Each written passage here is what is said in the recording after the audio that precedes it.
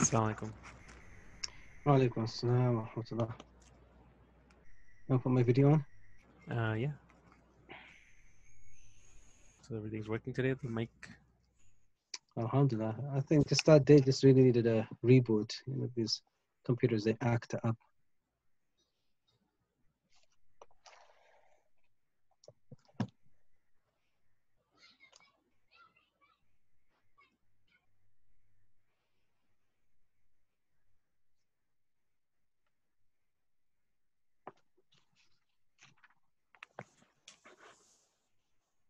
Is the video on? No. Video.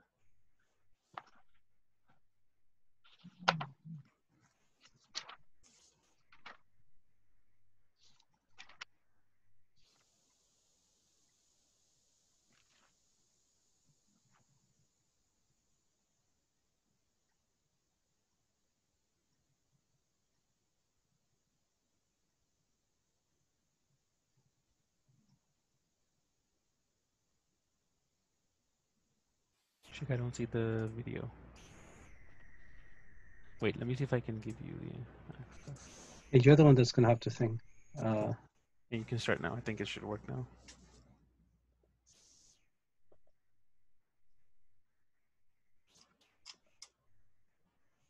oh, sorry. We good? Uh, yeah. That view is okay? Okay. I'm gonna just start on Facebook.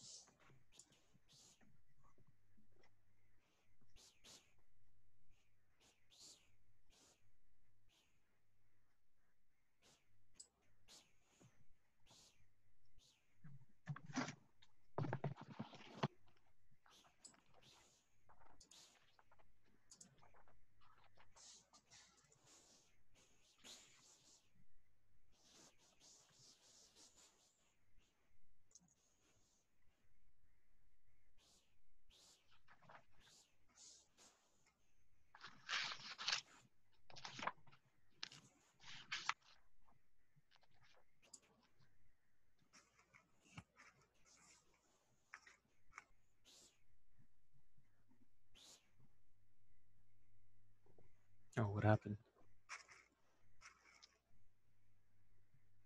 It says host has stopped your video. Wait, So something on your end. Um. Okay, no, no. Wait, what happened? I made you spotlight video. Uh,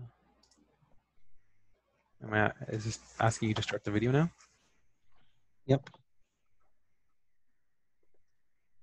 Okay.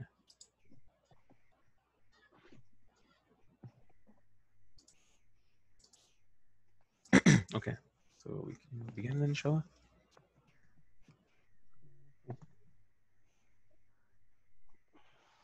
Let me know when you want to start, Sheikh. Just want to check one thing.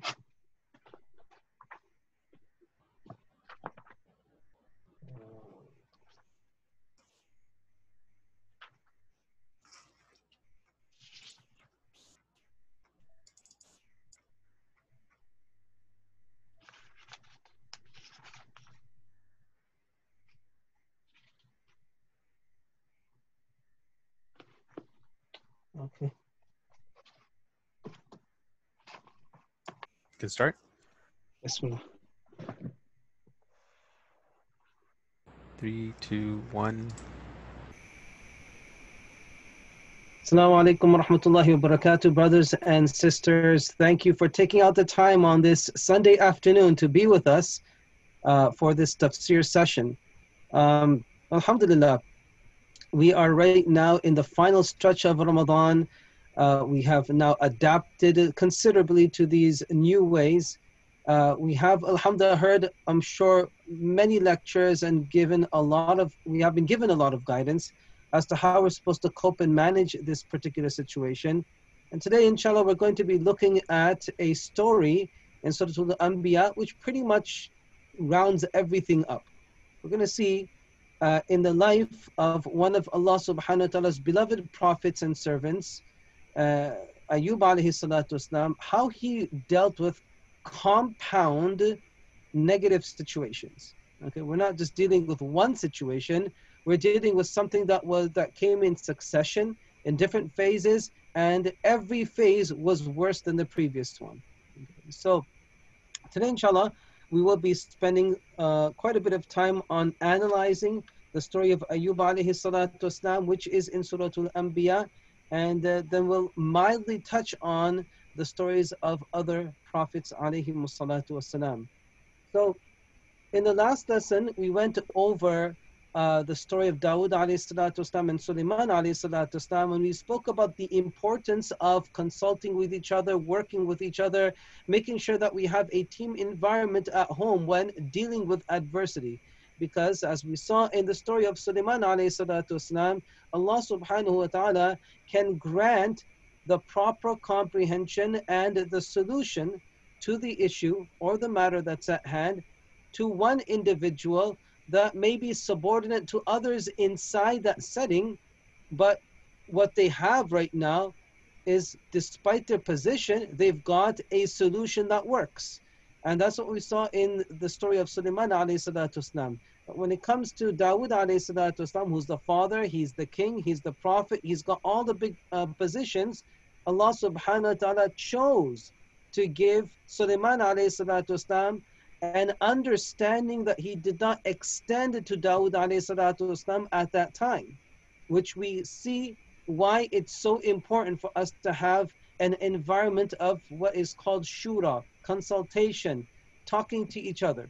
Okay, so this is going to be a key component of getting through uh, the adversity that we are uh, facing at this moment in the name of COVID 19. You look at the subsequent verses and you're going to see uh, Allah subhanahu wa ta'ala enumerating the different bounties that He had bestowed upon the family of Dawud alayhi salatu wasalam. So we are not going to uh, look into that too much. I'm sure you can suffice with the translation on that. Um, but one of the things that you will find, not in the verses of Surah Al, um, what's it called, of Surah Al Anbiya, but you're going to find in other places, I'm sure it's going to be Surah Sad, where Allah subhanahu wa ta'ala, when He's talking about similar things of the family of Dawud alayhi salatu wasalam, He gives them one instruction, which I'm sure is definitely going to be relevant to all of us here. He says to them, after enumerating the many bounties He has bestowed upon them, اعملوا آل داود شكرا وقليل من عبادي الشكور اعملوا آل داود شكرا Allah subhanahu wa ta'ala is instructing the family, Ala Dawud, the family of Dawud alayhi salatu wasalam, to be actively grateful. Okay, so i'malu shukra, if you remove the Ala Dawud. So engage in acts of gratitude. So this is where you and I should also reflect during this time that as as unideal of a life we are living right now where there's reduced mobility, reduced activity, reduced interactions. It's not the ideal situation, but it's still far better than many different communities throughout the world. Okay, whatever it is that we are experiencing right now does not even come close when it comes to gauging and measuring the different levels of adversity. We're really still at the low end of the spectrum. Okay, we're still at, at the very low end. There are people that are basically losing everything, especially when it comes to living in war-torn countries, where there's no sense of security, no sense of uh, hope and ambition. Prosperity is a thing that's simply a, a fairy tale. All of those things, you and I are not facing that. So we still have a lot to be grateful for. And let me take it a step ahead even if we were in those situations where other people are basically deprived of everything, we still have a lot to be grateful for. The life that you and I have is something to be grateful for. Having our our organs and our faculties to be functioning is something to be tremendously grateful for. And what is this? What is the real gratitude based on? We still have the opportunity to make huge gains in the hereafter, which is what we're all headed for and what we are working for in this world, despite having limited resources or limited comfort in this transitory world. Okay, so what I want to emphasize is don't let your shukr lack. Don't let your shukr be reduced.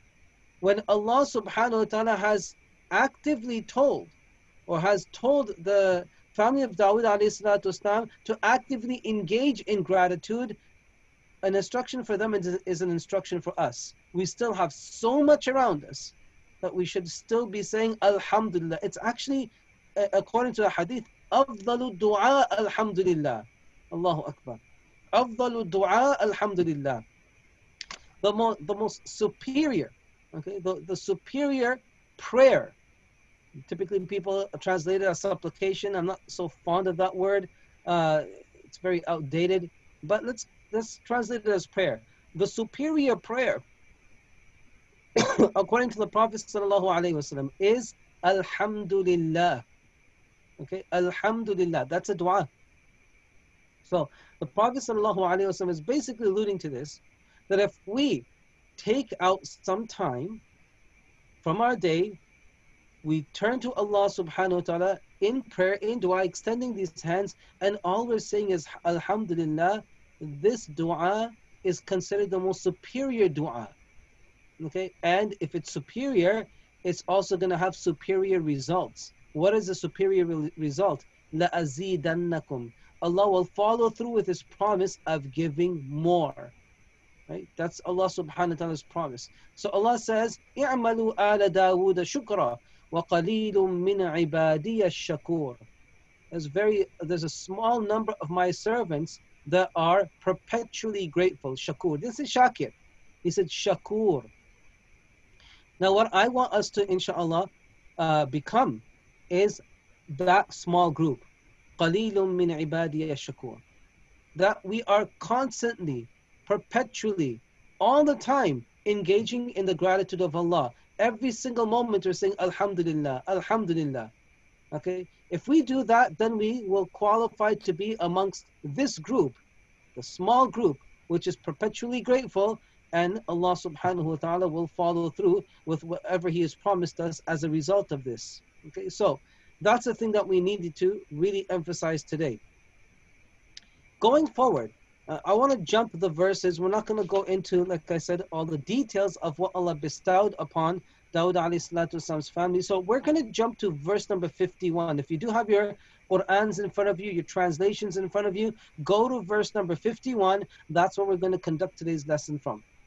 So in this uh, part, uh, uh, sorry, I have actually misnumbered that. I was looking at the wrong page Go to verse number 83, not 51. We've already covered 51. So go to verse number 83. That's where we're going to, inshallah, uh, conduct today's session from.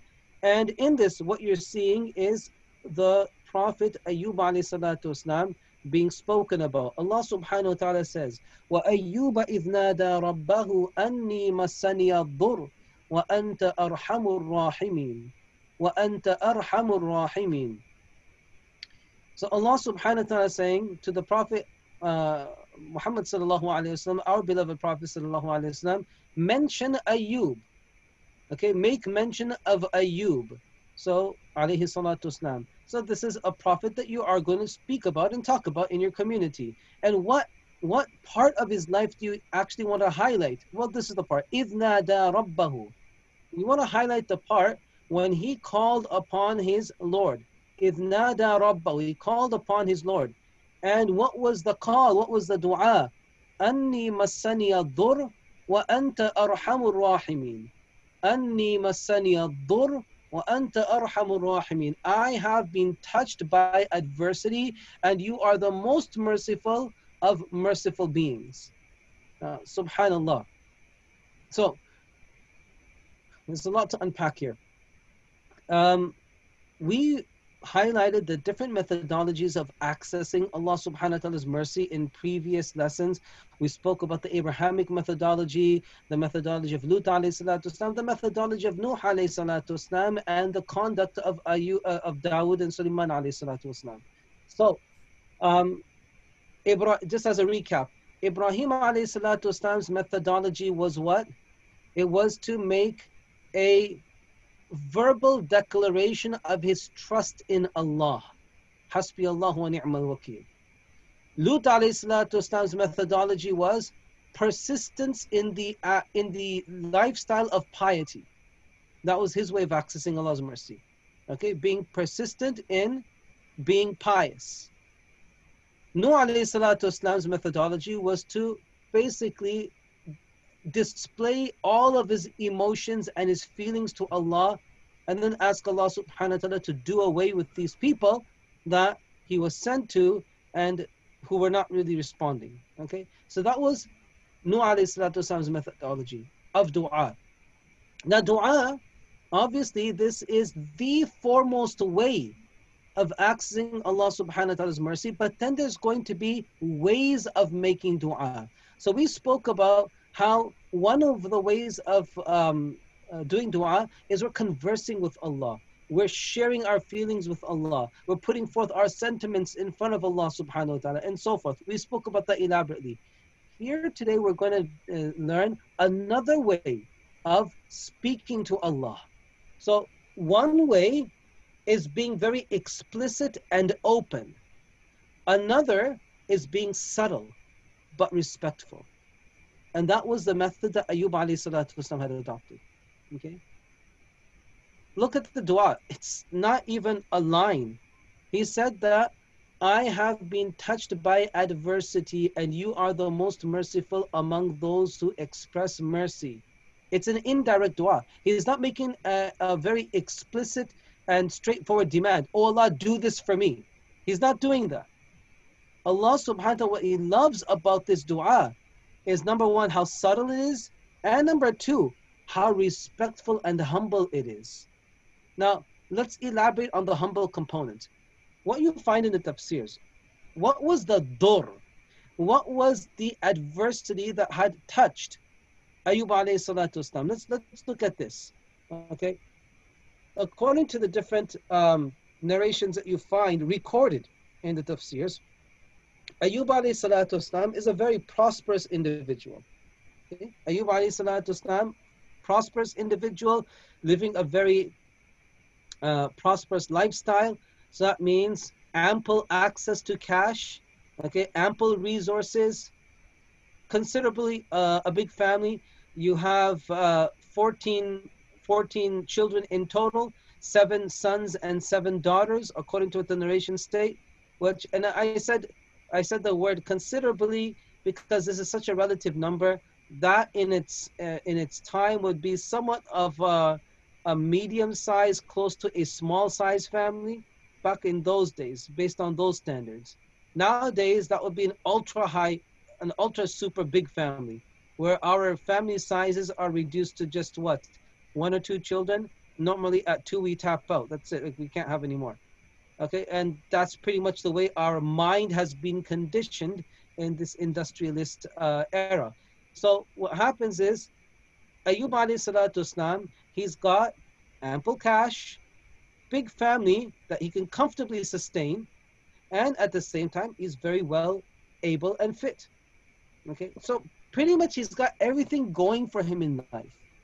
He has a struggle free life. That's where it comes down to, right? You have a struggle free life. You have your cash, you have beautiful family, you have your health. What else do you want? Okay, what else do you want in life? So he's got what, what basically would render a person satisfied in this transitory life. But then, one by one, he is going to be tested. And Ayub alayhi salatu islam, keep this in mind, in the Quran, Ayub alayhi salatu islam has been made the benchmark of patience.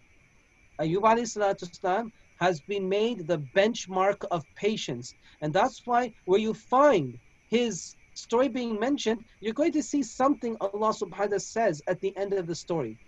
Okay, he's going to talk about how his life is going to be. Um, basically, it says here, uh, Wants to move. Yeah, dhikra lil abidin. That his story is a reminder for those people who engage in worship. And in another place in Sad, you're going to see See that Allah subhanahu wa ta'ala says, وَذِكْرَى ulil albab. It's a reminder for those who have intellect. Okay. So Ayub alayhi salatu wasalam is going to be made a, well, he is made a benchmark of patience in the Quran. And how so? So we're going to talk about how he's made a benchmark and how his life is made into a lesson for those who come after him. The first thing that's going to happen to Ayub wasalam is he's going to face a financial crisis. Very similar to what we're seeing right now. You know, you've got the snowball effect that we're seeing. Okay. That one thing gets ruined and all of a sudden it's ruining other things in the chain and the situation is just getting worse. I mean, you just heard, right? Um, was it yesterday the day before? The Air Canada is letting go letting go of 20,000 more employees. I mean, they just let go of 15,000 uh, several weeks ago. Now another 20,000. Those are huge numbers. Okay, and imagine the impact that this is now going to have on the entire industry. Do you think that the airline industry is going to be the same as it was before? I was just having this conversation just literally a couple of hours ago with one colleague.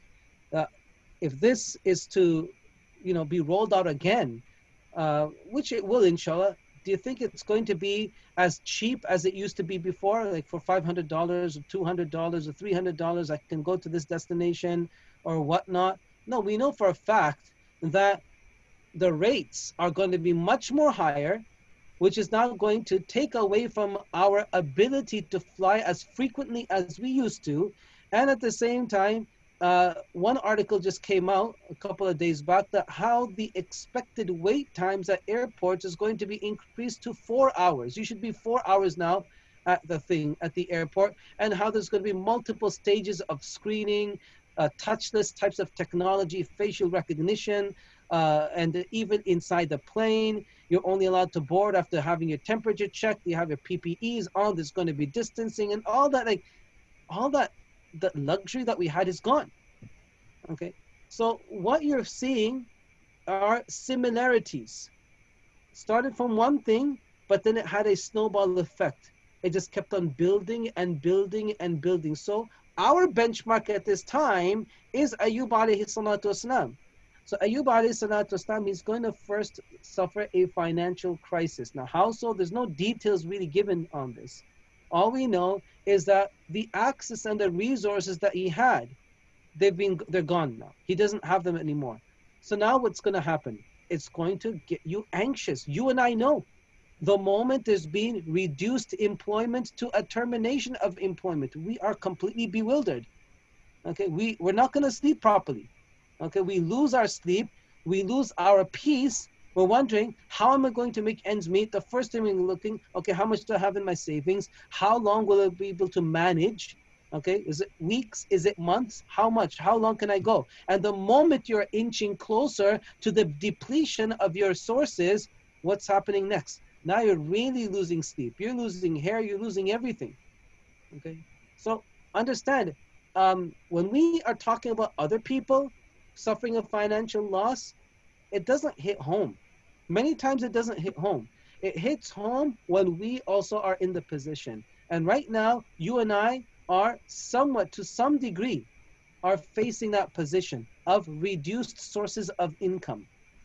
Okay? And that in itself, it takes our comfort away. It now increases anxiety, it increases stress. Okay? And it could have a, a tremendous impact on our mental health. This is what Ayub alayhi is going through. He's not going through reduced, he's going through a complete termination. It's gone. Okay, so that's the first thing. The second thing now. So if this is not bad enough, okay, and remember he's got a family to take care of. He's got his he's got his family of 14 children. Okay, obviously he's gonna have other expenses, but now that's gone. Now the next thing that's going to be taken away is his family. according to certain reports, again, Allah subhanahu wa ta'ala only knows the accuracy of this, but they have been recorded and thus I share them with you. You're going to have one report suggesting that Ayub alayhi salatu wasalam's house collapsed. His house collapsed. And in that house was his family, and there were no survivors. Okay, there were no survivors. Everyone, they basically lost their life when the house had collapsed. So, what has resulted in? He's now lost his money. He's lost the thing that is the most dear to anyone family, especially children. His wife, uh, whether he had multiple wives or had one wife, one wife for sure was with him. Okay, so she wasn't part of the calamity because she's now going to go forward and be an aid and assistance to him. But they're gone. Okay, the and it's easier said than done now. Keep this in mind. If we just lose one child of ours, we basically lose all of our peace. Okay, you've lost, in this case, let's say a person has lost their job, they've been afflicted by COVID 19 or family member has been afflicted, especially a child, and that child has lost their life. Imagine what's going on in this person's mind. Okay, this is not going to be music to anyone's ears, especially for the person that's experiencing this. That's why look at this this particular thing uh, example. Okay, so they're gone, unfortunately. Okay, then afflicted with a disease.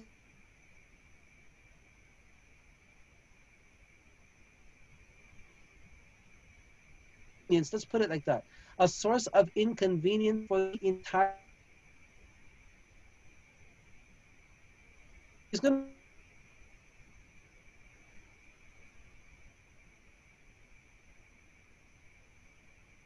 to release a foul odor, and you're going to have maggots that are coming out of the body.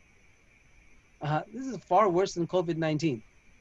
Okay, yes, in COVID 19, a person is going to suffer for a small period of time, and a lot of people, alhamdulillah, are recovering. Some people may lose their lives, but relatively speaking, it's a shorter period of suffering. Let's put it like that. It's a shorter period of suffering. Ayub alayhi salatu islam is going to be with this condition for 18 years.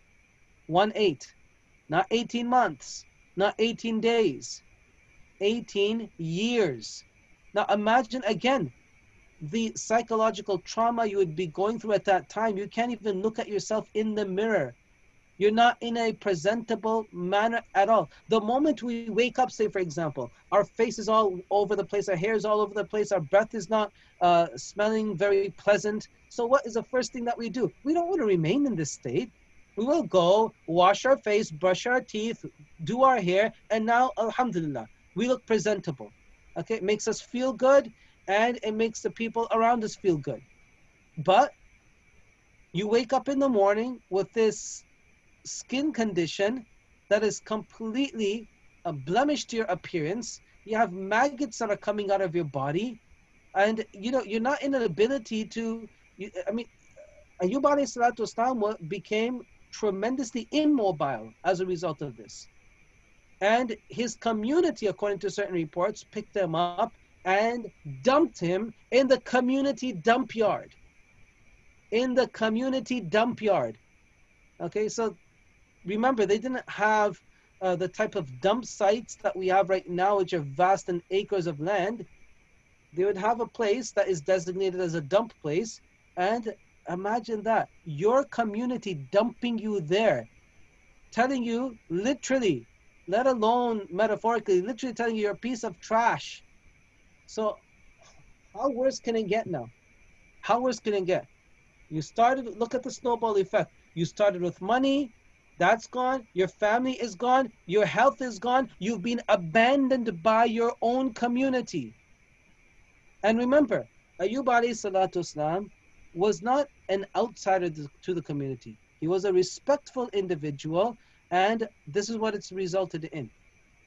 Okay? And one thing, the reason I'm taking my time in explaining all of this is so that you can slowly digest this. I want you to try and put yourself in that situation and think, how would you react? react? Okay, it's nice to sit down and listen to it as a story, but this is a true incident. It really happened. And it can happen to any one of us. So I need all of us right now to put ourselves in the shoes of Ayyub alayhi salatu and ask ourselves, how on earth would I have coped? Okay, how on earth how would I have coped? Could I even cope? This is why the story of Ayyub alayhi salatu is so important. He demonstrated that yes, you can cope. He did it. Okay? And if he can do it, so can you and I. Because the Anbiya Islam are models for the rest of society, for the rest of humanity. They're models. What do you mean by model? They are someone that we can practically emulate. We can practically emulate if we choose to do so. Okay, we can if we choose to do so. The same thing with our beloved Prophet Sallallahu Alaihi Wasallam. I mean, this one little um, tangent I'll go off on, but keep this in mind. The Prophet wasallam was not just a, um, let's say this, uh, a figure that is, I mean, what's the word I'm looking for? It was just there on my lips. But, anyways, the Prophet wasallam, he's not just a symbolic figure. The Prophet wasallam is not just a figure that was brought to us for the sake of simply praising and revering. The Prophet ﷺ was brought to us as a role model whose lifestyle we can all adopt if we choose to do so.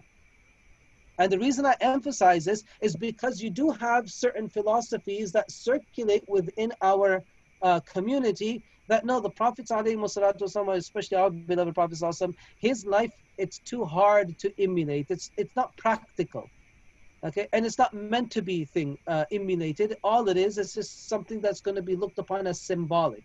No, the, the Prophet ﷺ has been told us in the Quran as لَقَدْ كَانَ لَكُمْ فِي رَسُولِ اللَّهِ أُسْوَةٌ حَسَنَةٌ Within the Messenger of Allah sallallahu alaihi wasallam, there is an exa- an excellent example. So the prophets, whatever they have done, unless stated otherwise, unless stated otherwise, it is something that every human can practically do if they choose to do so. If they choose. Okay, keep this in mind. Yes, and the, I said stated otherwise because there would be certain practices that the Prophet ﷺ would make very clear it's only for him and it's not for others to follow. For example, Somul Wisal continuous fasting. Okay, where the Prophet ﷺ would start the fast on Monday, for example, and do his iftar on Thursday. Okay, three days of consecutive fasts where there's no renewed suhoor or iftar.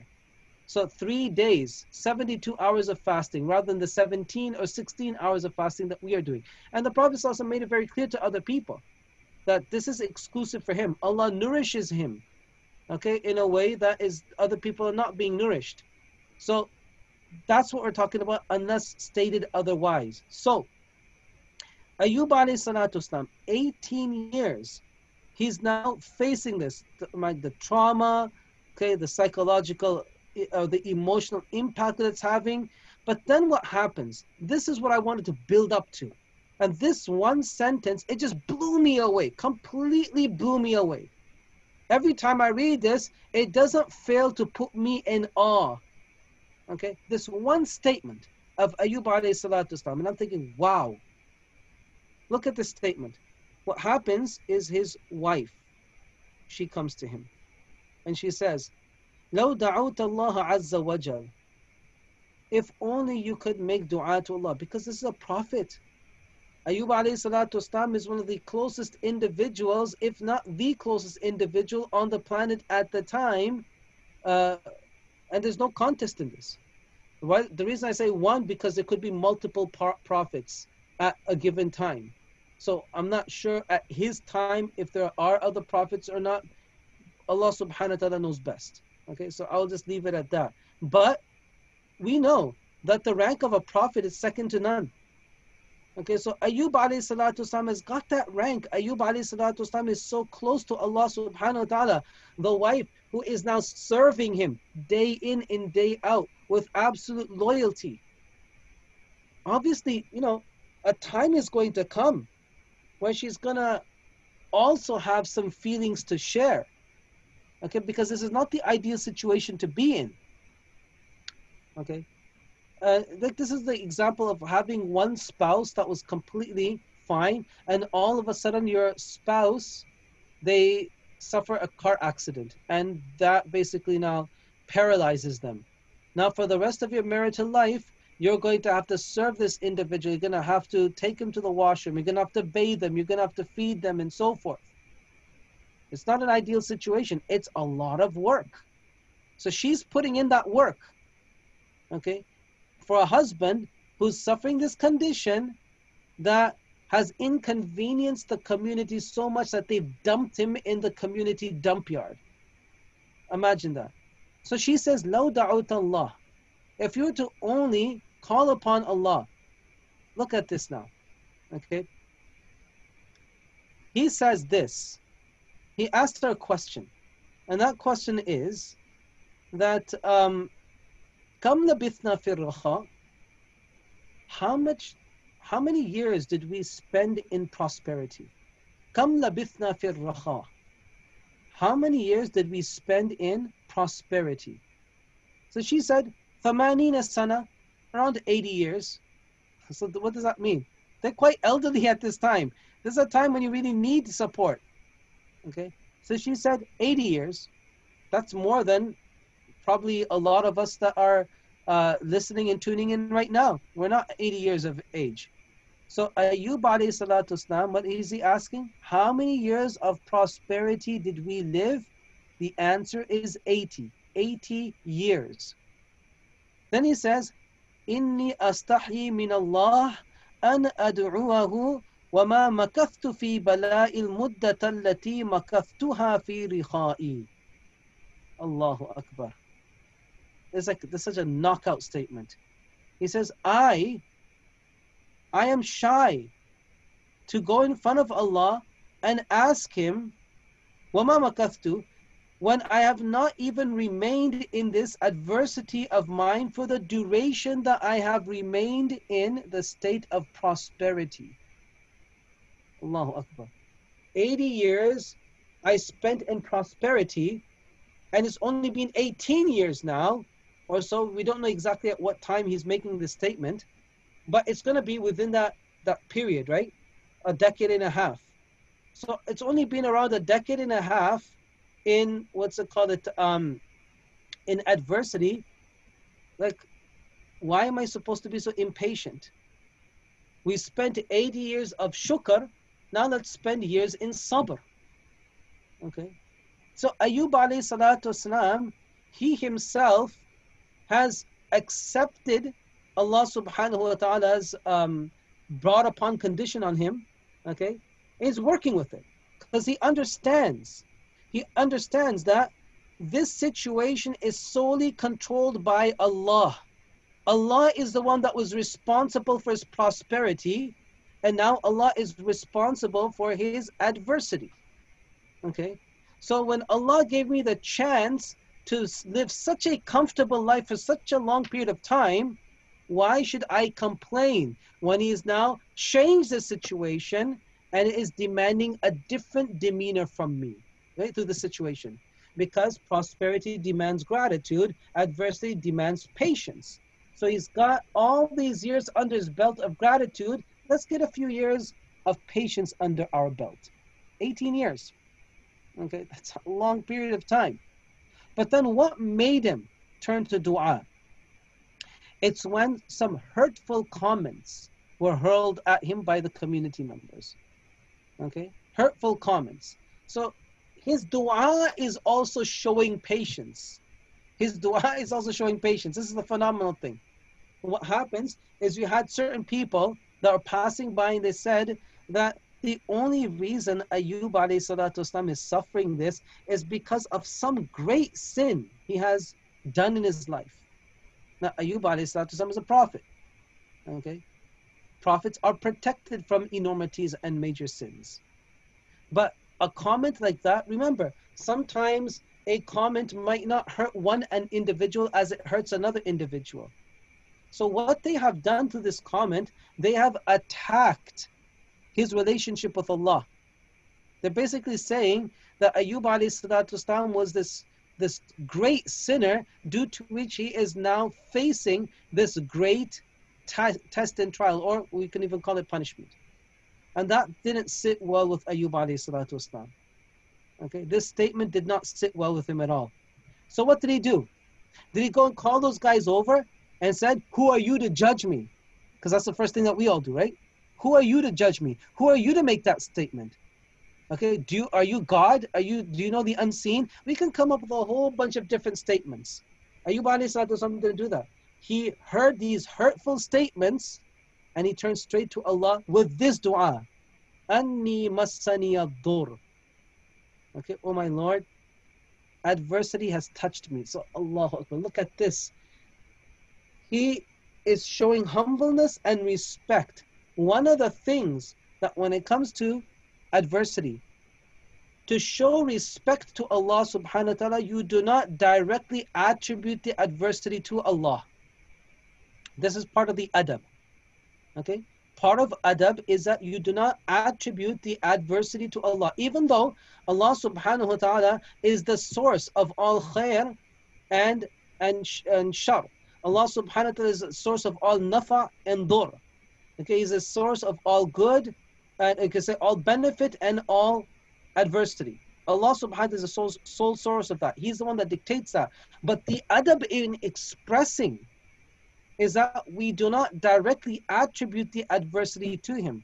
So you saw that with Ibrahim alayhi He said, وَإِذَا مَرِدْتُ فَهُوَ يَشْفِينَ When I become sick, Allah is the one that grants me a cure. Allah relieves me. Okay, he didn't say that وَإِذَا مَرَّضَنِي اللَّهُ or أَمْ, uh, أَمْرَضَنِي اللَّهُ When Allah makes me sick, he didn't say that. He says when I become sick. So what has he done? he's now not attributed this to Allah out of adab. Same thing here. He didn't say that, oh Allah, you've brought adversity upon me. He said, I have been touched by adversity. Masani dur. I've been touched by adversity. So there's two things going on. His adab with Allah is phenomenal. Okay. He's not going ahead and saying, Oh Allah, why did you do this to me? Oh Allah, you're the one that did this to me. He didn't say that. It's like he's not showing any complaint to Allah. Allahu Akbar. He's not complaining to Allah. Oh Allah, you did this to me. He's just now putting forward his situation in a respectful fashion that I have been, what's it called, it, touched by adversity. And what's the motivation behind it? It was the hurtful comments of those guys that are passing by. So he's hurt emotionally, physically, every conceivable, conceivable way he's hurt. And this is how he's expressing himself with adab and with humility. Masaniya dhur. And now look at the indirect dua he says, Wa anta arhamur rahimin. You are the most merciful of those who express mercy. Say so indirectly saying, oh Allah have mercy upon me. He didn't say directly. He said it indirectly.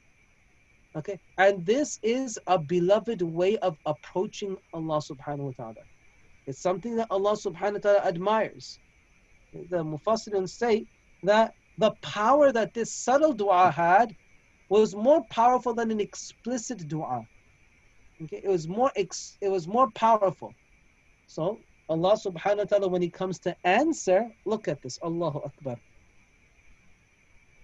Subhanallah. Right now, you and I are anticipating some vaccine to be released and we get injected and somewhat become immune to this COVID virus and due to which we can resume our normal lives. We can be as mobile as we were before and we can enjoy life the way we used to. That's what we're all waiting for, right? Because we see the means. Ayub alayhi salatu islam, when he made this dua, remember Allah subhanahu wa ta'ala has instructed us to or basically in the religion, we are instructed to use the means, but not place our faith in the means and rely on the means. Okay? Ayub alayhi had no means. Nothing. Because remember, he's abandoned by the community, right? There's nothing there. He's only got his wife with him. So no one is there to come to him. He doesn't have money to buy medicine. He doesn't have a family that's going to really help him and support him, with the exception of his wife who's serving him. He doesn't have the community to access and help him. So basically, uh, what I want to emphasize here is that in terms of resources that you can tap into to get assistance from, Ayub alayhi is nothing. Absolutely nothing. All he has is his turning to Allah in this humble way, in this beloved way, and Allah subhanahu wa ta'ala goes ahead and does his part. He tells Ayub alayhi salatu wasalam, Urukud birijlik. Now this is not in this part here. You'll find these passages which I'm making reference to in Surah Sad. He tells Ayub alayhi salatu wasalam, Urukud birijlik. Stomp your foot. هذا مغتسل بارد وشراب. هذا مغتسل بارد وشراب.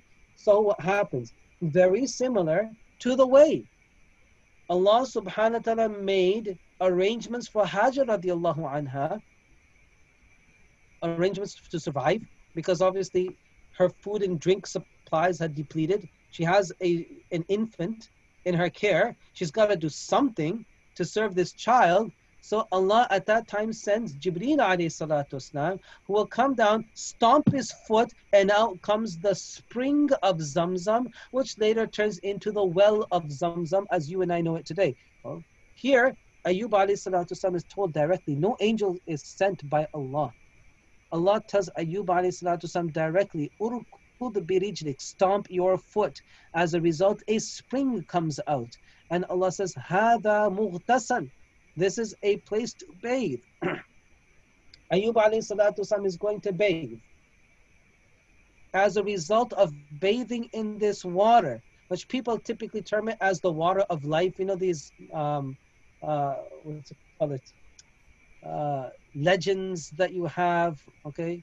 Uh, there's another word that uh, I can't recall, but anyways, uh, we're not going to say it's necessarily a myth but you know these legends that you have about the the water of life and then there's stories made up about this and then there's also uh, attempts to try and locate this particular spring that Ayub alayhi had taken advantage of. And if you go on YouTube you'll find like two three different places that are being identified and this footage being shown. You can do that on your own time. But Ayub alayhi where's he going to be at this time? He's at the dump yard away from the community no cash, no resources. Allah tells him, stomp your foot. Water comes gushing out. Okay? Water comes gushing out. Ayub wasalam is going to now be told to bathe in this because it's mughtasal, barid, it's cool. Washarab, it's also a drink. So here's your own water source, which in water is a source of life. Ayub wasalam will go and bathe in it. Look at this how Allah subhanahu wa ta'ala brings yusr after usr. We all go through yusr, we all go through usr. We go through ease, we go through hardship, and فَإِنَّ مَعَ الْعُسْرِ yusra. Look at this now. So Ayub alayhi is going to bathe. His skin condition is there and then going to improve just as a result of bathing in this God-given water. Allah made it a source of shifa and not a conventional shifa because this is unheard of that you bathe in water and your skin condition all of a sudden improves. It improved because Allah put the properties of shifa inside there. Allah is the governor of the situation. So the properties of shifa have been given to him. All of his skin condition is now improving. His body is being restored. That sharab, he's told to drink that water. All the internal sickness is now being cleansed. The maggots, Look at the hadith of Sahih al-Bukhari. I wish I pulled it up before. But there's a hadith of Sahih al-Bukhari that as all of this is now dropping, these maggots and so forth are dropping, it's being turned into gold. He's getting cash right there. Okay, it's being turned into gold. This is from the hadith of Sahih al-Bukhari, so it's not a fairy tale. Okay? Allah subhanahu wa ta'ala in an instant, because of that humble dua, changed the condition 180 going from sickness to health going from poverty to prosperity and not only that the family that he loved so much Allah revived them, and Allah subhanahu wa ta'ala at the same time gave him additional family. Because back in those days, being a family centric community, family was something that you took a tremendous amount of pride over, especially when they were in great numbers. So Allah revived those who had passed because He is Muhyil Mauta. He is the one that gives life to the dead. And then He gave additional life through which now He can enjoy greater prosperity, bigger family, restored health, and living in better conditions that He did prior to this stage, this 18 year period of adversity. Allahu Akbar. Don't underestimate Allah.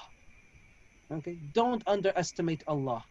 Don't underestimate your power of dua. And this is what I'd like to close with. It's already 46. Look at time just flies, man. Uh, I didn't even get to finish all of this. But let me just finish off the, at least the verses, right? Allah subhanahu wa ta'ala says, فَاسْتَجَبْنَا لَهُ We responded to him. Allah will respond to him. Allah responded to Ayub alayhi salatu wasalam. He will respond to you. Just adopt the traits and the approach of these Anbiya alayhi. There's a reason why Allah's sharing this with us. He's telling you this is the right way of approaching me. That's basically what's being told to us for. So approach it the right way, not approach it my way. Okay? This is the right way. The right way is Allah's dictated way. So Allah says, "Fastajabna lahu." We responded to him. Uh, uh, it's like it's still mind-boggling me over the, the the shortness of this dua, but how powerful it was. So Allah says, "Fakashafna ma bihi min dur." We removed.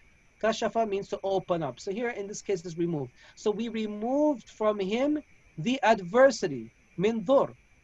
وَآتَيْنَاهُ أَهْلَهُ and we gave him his family وَمِثْلَهُمْ and it's their equivalent with them so the family is back to life the ones that he's lost and a new family is also being given to him which obviously over a period of time is going to happen right he's going to have more children more family to enjoy okay and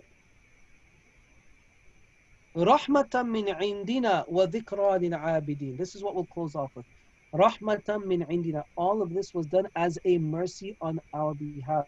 Remember, what did he say to Allah? Rahimin wa anta arhamur rahimin. You are the most merciful of those who exercise mercy. So Allah saying, as mercy, we did this for him. So this is what you're going to make dua for. We will all make this dua. Anni masaniya whether we're going through a financial uh, situation right now, a domestic situation, whether it's going to be a health situation, whatever it is, anni masaniya. Remember, me- memorize this. That's why I went uh, and declared the verse 83. Okay, anni masaniya dur. Wa anta arhamur rahimin. Wa anta arhamur rahimin. You are the most merciful of those who express mercy. Just this doesn't even take that long to, to do. But the moment we've done this, Allah saying, Rahmatan min indina, as mercy, we did this for him. If he did it for him, for Ayub alayhi salatu wasalam, he can definitely do it for you because the Allah that was there for Ayub alayhi salatu wasalam is the same Allah that is there for you. وَذِكْرَى لِلْعَابِدِينَ and as a reminder for those who engage in worship because the people who will always who will really take will really take these words seriously are those who turn and devote their time to Allah in worship. And even worship, it takes a great amount of struggle, sacrifice, and and patience, depending on how far you want to excel, depending on how far you want to go, okay, in your in the accomplishment of your ukhrawi goals. So this is a reminder for us as well. I will close off with this, inshallah, and then next week uh, if it's most likely it's going to be Eid next week, right? Whether it's going to be the Saturday or the Sunday, Allah subhanahu wa ta'ala knows best. I can't really forecast it, which day it's going to be. You follow your local masjid, whatever they declare, inshallah, whether it's Saturday or it's Sunday, and work accordingly. But uh, I'd say I think next, next week we'll just give it off and we will resume the week after. And these sessions will continue, inshallah, until uh, we can start going back to our masjids and resume our live sessions there, inshallah. I will now leave it at this. We do have 10 minutes for questions and answers. Uh, uh, and I will just uh, at least, uh, yeah, let, us do that before I close off with the dua, inshallah. Bismillah. Just opening up the Q&A box. Side here. That's great. My mouse is not working. Okay, let's do this. Okay. So Sheikh Omar, I had a question regarding this verse. I came across above from this understanding that only upon resurrection will disbelievers realize the hereafter is real. So does that mean disbelievers won't face punishment in the grave or do they go through the same process as a believer? No, that's not the right implication. Uh, remember, um, Allah subhanahu wa ta'ala talks about two different periods uh, after thing. Uh, uh, let's say two different blowings of the horn, right? Or the or the um, whatever instrument it's going to be. وَنُفِخَ فِي الصُّورِ فصعق من في السماوات ومن في الأرض إلا من شاء الله ثم نفخ فيه أخرى فإذا هم قيام ينظرون okay فإذا هم قيام ينظرون um, I believe that's in the 24th June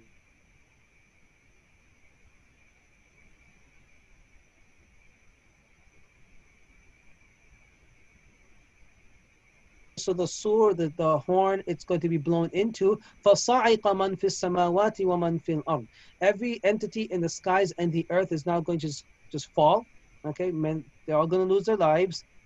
Okay, um, it says your internet connection is unstable.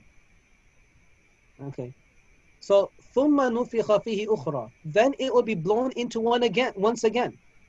Okay, then it will be blown into once again فَإِذَا هُمْ قِيَامٌ يَنظُرُونَ So at that time, now they're going to be standing, looking. So there's two periods here. So period number one, when it comes to the disbelievers, okay, or any person, believers, disbelievers alike, when you die, you're going into the grave, and upon going into your grave, you're going to have whatever experiences Rasulullah sallallahu alaihi wasallam has uh, elaborated on, right? Whether it's going to be a window of paradise or a window of hell for the disbeliever. Allah subhanahu wa ta'ala knows best about the Prophet has elaborated on this, and he's also spoken about the punishment of the grave. This will continue till the first blowing of the horn. Okay? The moment that that has been blown, all life and existence is going to cease, finished. Because everything, where are we buried? We're buried on this earth. This earth is going to finish. Okay?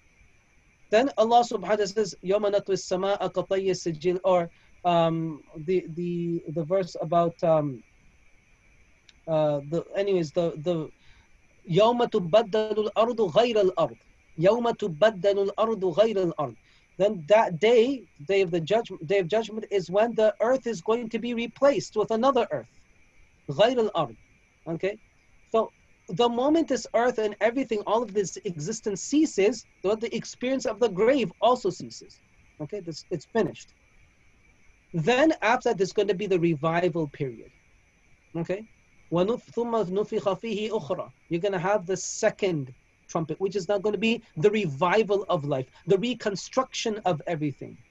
At that time, in that reconstruction phase, that moment that you're going to have where everyone is now replaced in their graves or reconstructed back in their graves as it was before, okay, that brief period is going to be the period of rest for the disbeliever until they are pulled out and extracted from the uh, from the uh, the graves. And then they're saying ya waylana man ba'athana min marqadina hadha ma wa'ada ar-rahman.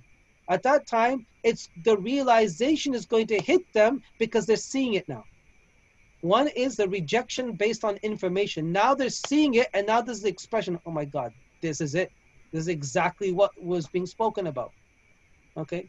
So this is what, when you piece everything together in the Quran, this is what the whole context is. It's not a matter of them going through a period of silence, and then they only come to realize that the, oh, the uh, akhirah is true after they are basically thing uh, taken out of their graves. They're going to have that realization at that time. It's just it just hit you so hard.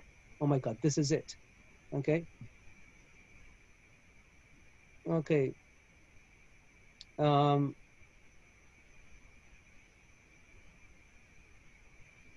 a lot of scholars say all 10 nights have possibility of being night of Qadr. However, we have so many hadith from different scholars that state that there are signs.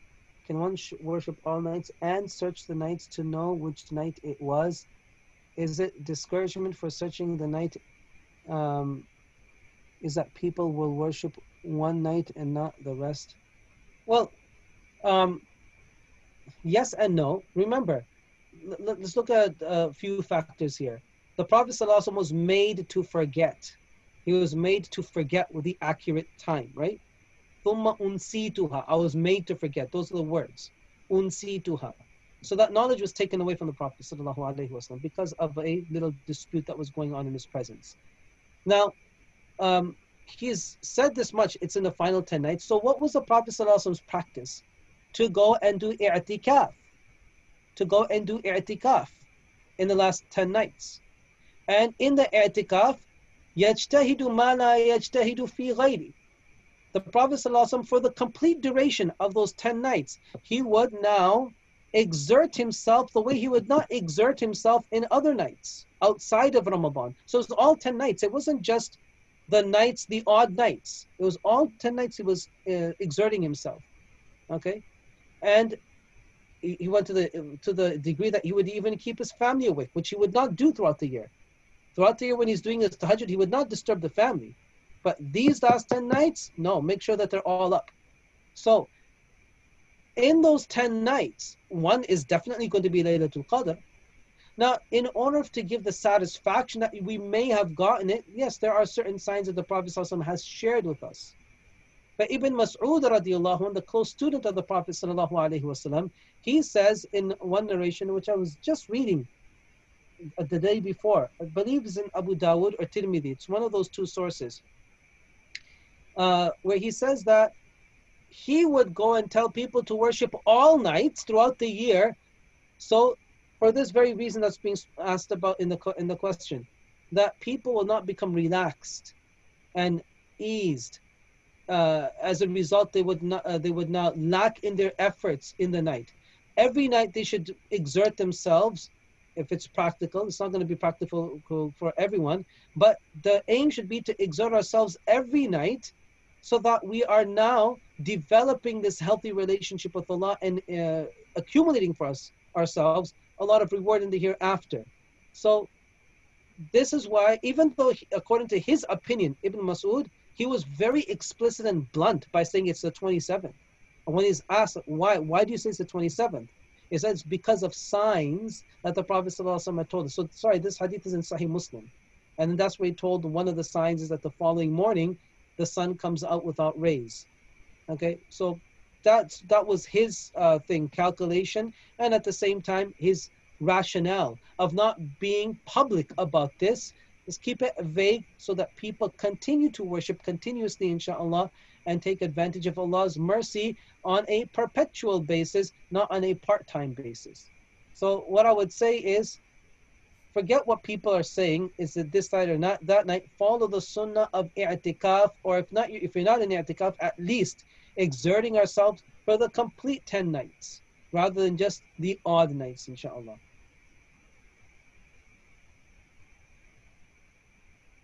Okay. What is the method of Eid Salah for those of us at home with so many opinions? Just resort to your fiqh, whatever fiqh that you that you uh, follow. If you follow the Hanafi madhab, do it according to that madhab. If you follow the Shafi'i madhab, do it according to that madhab. Okay, all of them have their principles. All of them have uh, sound, um, what's we call, sound conclusions based on those principles. So they're not going to say this is right and this is wrong. You can only say that if everyone is acting on one set of principles, which they're not. Okay, they're all sound principles. They're different. They vary due to which you have different conclusions which are coming out. And by uh, our job is fasalu ahla dhikri in kuntum la ta'lamun. Ask the people of the scripture if you do not know. So if you just resorted to sound, or I should say, um, conclusions that are generational, they've been passed down throughout the generations, they're based on sound principles, then inshallah, um, there's nothing for us to worry about. But just to simplify the matter, whatever. Islamic school of law you follow, follow the conclusions that have been cited there, inshallah. Okay. Jazakallah khair. I hope, inshallah, the rest of these, uh, the remainder of these days are blessed days for all of you.